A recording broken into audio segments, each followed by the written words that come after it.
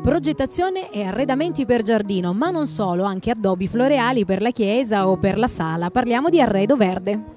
Sì, grazie. Parliamo di Arredo Verde. Noi ci troviamo sulla strada statale 114 a Santa Margherita Messina.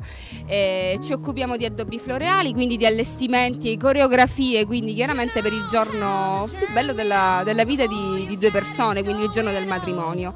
Ci occupiamo chiaramente del bouquet, degli allestimenti della chiesa, della sala, la casa e tutto quello dove occorre il fiore.